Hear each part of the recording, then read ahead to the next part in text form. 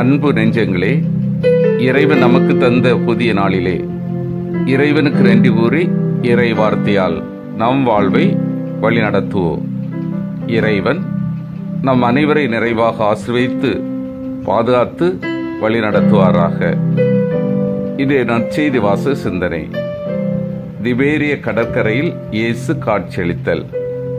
யோவா நற்செய்தி நூல் பிரிவு இருபத்தி ஒன்று. இறை சொற்றொடர்கள் ஒன்று முதல் பதினான்கு முடிய. இதன் விளக்கம் அறிவோம். இயேசு உயிர்த்தெழுந்த பின் சீட தம் பழைய மீன்பிடிக்கும் தொழிலை செய்வதற்காக கல்யா சென்றிருப்ப ஒரு நாள் மீன் பிடித்து கொண்டிருக்கும் நேரத்திலேயே இயேசு அவர்களுக்கு தோன்றுகிறார். அவர்கள் ஏழு பேர் இருந்ததாக யோவான் கூறுகிறார். இயேசுவை சீடர்களால் கண்டுகொள்ள முடியாததற்கு விடியற்கால கருக்களே காரணமாய் இருந்திருக்கலாம். படகின் வல பக்கமாய் வலை வீசுங்கள் என்று கூறுகிறார் இயேசு. ஏராளமான மீன்கள் கிடைக்கின்றன. யோவானி முதன் முதலாக ஆண்டவரை கண்டுணர்கிறார் வியக்கத்தக்க முறையில் ஏராளமாய் மீன் பிடிபட்டது. அவருக்கு ஓர் அருங்குறியாக படுகிறது. அதிலிருந்து அவர்தான் ஆண்டவர் என்பதை உணர்ந்து கொள்கிறார். பேதுரு கரையில் நிற்பவ இயேசுதான் என உணர்ந்தவுடனே கடலில் குதித்து விடுகிறார். ஆண்டவரது ஆணையால் வலை வீசிய சீடர்கள் அதிகமான மீன்களை பிடித்தது போல். அவரது ஆணையால் அனுப்ப பெறப்போகும் அவர்கள் எண்ணிறந்த மனிதரையும் இறை மக்கள் கூட்டத்தில் சேர்ப்பர். மீன்களின் எண்ணிக்கை நூற்றி ஐம்பத்தி மூன்று. இது முழுமையான எண்.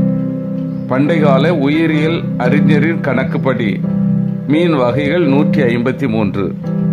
இந்த நூற்றி ஐம்பத்தி மூன்று வகைகளுள் எல்லா மீன்களும் அடங்கிவிடும். பிற்காலத்தில் எல்லா வகையான மனிதரும் திரு அவை என்னும் படகில் வந்து குவிவ என்னும் கருத்தையே யோவான் முன்னுரைத்திருக்கலாம். அன்பார்ந்தவர்களே இயேசு நம் அன்றாட வாழ்க்கையில் பணிகளில் அக்கறை கொண்டவர்.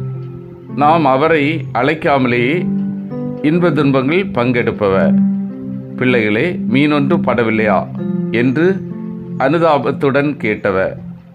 படகின் வலப்பக்கமாய் வலை வீசுங்கள் என்று ஆலோசனை கூறி நமது பணிகளில் உதவி செய்பவர்.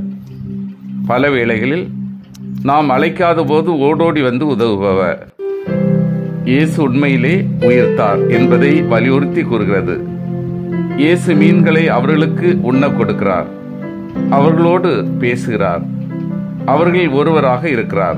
இவ்வாறு உடலோடு இருப்பதை அவர் உறுதிப்படுத்துகிறார். இருபத்தி ஒன்றாம் அதிகாரத்தின் முக்கியத்துவம் இரண்டு காரணங்கள் சொல்லப்படுகிறது. ஒன்று இயேசு உண்மையிலேயே உடலோடு உயிர்த்தார் என்பதை உறுதிப்படுத்துகிறது. இரண்டாவது திரு அவையில் பேதருக்கு கொடுக்கப்பட்ட முக்கியத்துவத்தை உணர்த்துவதற்காக சிந்தித்து தியானித்து செயல்படுவோம். இறை வார்த்தையின் மீது இயல்பாக நான் நம்பிக்கை கொண்டு செயல்படுகின்றேனா? ஒவ்வொரு நாளும் இறைவன் செய்யும் அதிசயங்களை கண்டுகொண்டு அவரது விருப்பத்திற்கு ஏற்ப வாழ்கின்றேனா? குறிப்புணர்ந்து ஓடோடி வந்து உதவி புரியும் ஆண்டவரை இதயத்தில் நான் ஏற்றுள்ளேனா? மன்றாடுவோம். வல்லமை மிக்க இறைவா நாங்கள் அனைவரும் இறை வார்த்தையின் மீது நம்பிக்கை வைத்து அதனை ஏற்று செயல்படுத்தவும். உமது அரும்பெரும் செயல்களை கண்டுகொண்டு உமது திருவுளத்தை நிறைவேற்றும் வரம் தாரும். ஆமீன்.